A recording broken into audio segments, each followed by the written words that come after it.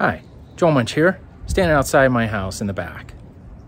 Have the electrical box open, which means something's not working right. Last night around 11 o'clock, got a notice from the Nest. Error 74, RH wasn't delivering power to the Nest. So something went out with the heat. Fortunately, we have upstairs heat and downstairs heat, two separate HVAC systems and just had to crank up the downstairs one a little bit more to get through last night. But now I'm going through troubleshooting, trying to figure out why is the furnace and HVAC system upstairs not working. So first thing to do um, is I'm going to turn off the circuit breaker here to the furnace and then I'm going to go up into the attic and take a look do a visual inspection, see if I can figure out what may have gone wrong, and continue down the process. So here we are at the electrical panel outside. There are two circuit breakers I'm going to turn off. First one is for the AC unit for the upstairs HVAC system, and it's here. Turn that off. The second circuit breaker is for the furnace, and that's up here, and I'm going to turn that off. Okay, so we should be all set. No power to the HVAC system upstairs. Let's go take a look, see what we can find out. All right, now before I get started, let me talk about what I brought with me. Just a few basic tools. First off, common and Phillips head screwdriver. Gonna need those probably. And my favorite tool when I'm doing anything with electrical, AC voltage detector. This is the one tool that anytime I'm doing anything, whether it's replacing a switch, installing the Nest thermostat, or trying to figure out why we lost heat last night, I bring this with me. This would usually tell me where the problem is in a lot of cases.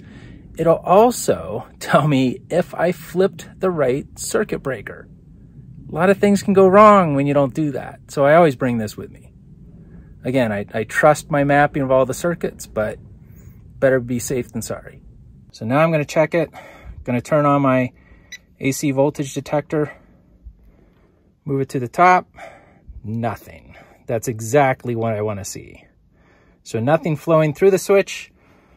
Of course, nothing going down to the bottom either because there's no power it's just me, but I always flip off the switch because that's the sequence I go through. So I'm still going to turn the power off to the furnace right here.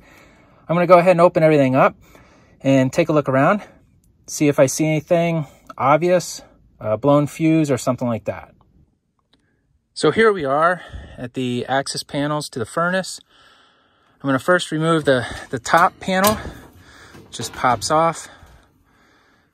I'll set that one down. And then I'm going to remove the bottom panel where all the wiring is. Just slides up and out. All right. Now, the wires right here are the ones that are actually going to the thermostat. So you can see the red, which is the RH. So that's not working currently. Not getting power to the thermostat. But I am going to take a look in here.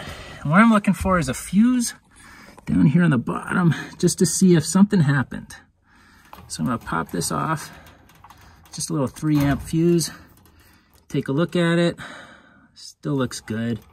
So that wasn't it. That would have been simple if it was.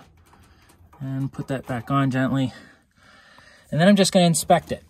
Look and see if there's anything that came loose from vibration. Um, these are all the sensors. You have sensors throughout the system. Um, to make sure there's no leaks, no other things that could go wrong. I'm going to also look back up here, see if there's anything that doesn't look quite right. Um, nothing that I can see. And everything looks all right. So at this point in time, don't know why it won't turn on. So I'm going to do a few more tests with it and see what's going on. So at this point, I'm going to go ahead and put the bottom panel back on, go downstairs, turn power on. I'm going to leave the switch off up here. Then I'm going to come up here and take you through a few more tests. Back outside, gonna go ahead and turn on power to the furnace right here and turn on power to the AC. Everything's on, heading back upstairs to the attic. Back up in the attic, standing next to the furnace, switch is off. Gonna check, make sure that power's coming to the furnace all right. I turn that on at the circuit breaker. Yep.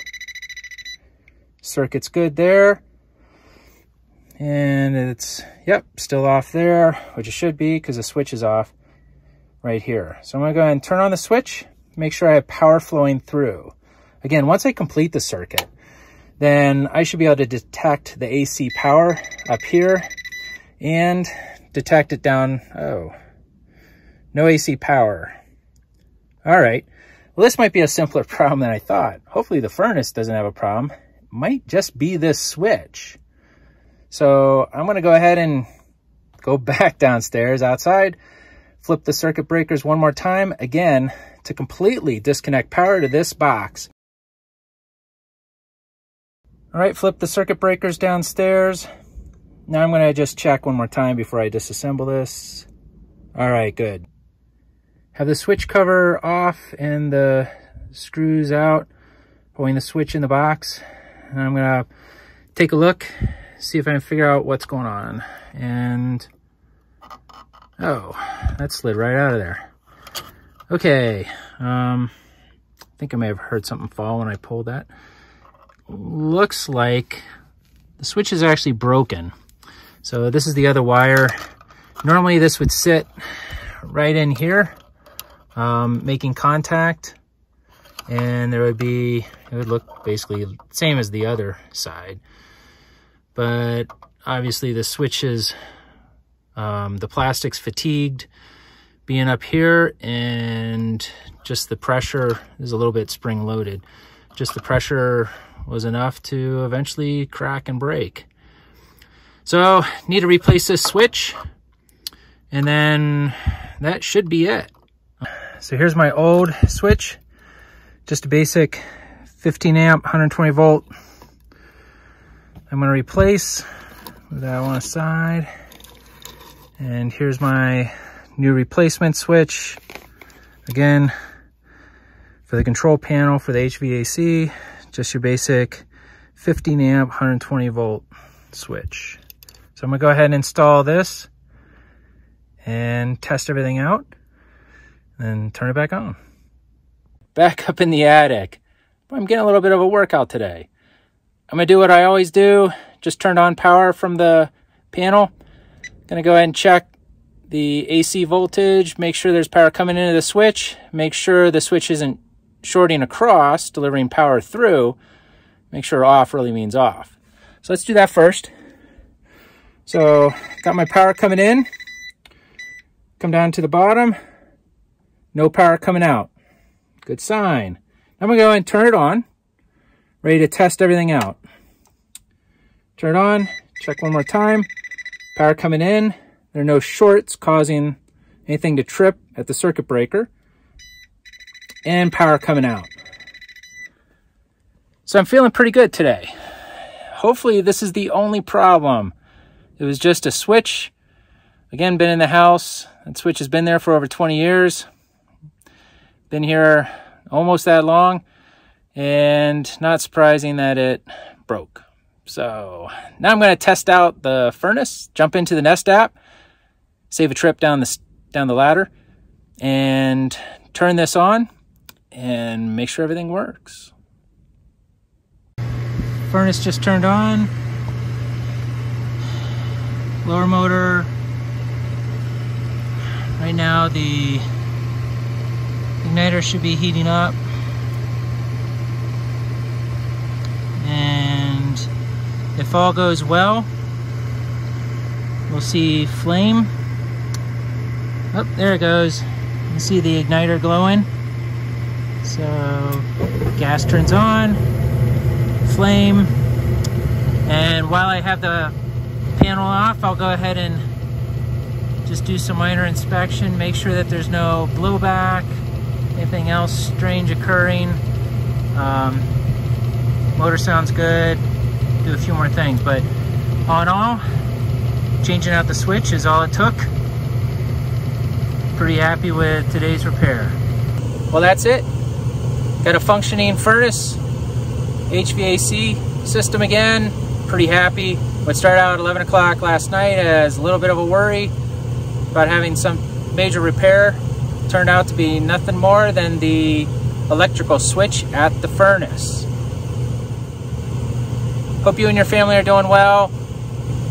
Take care.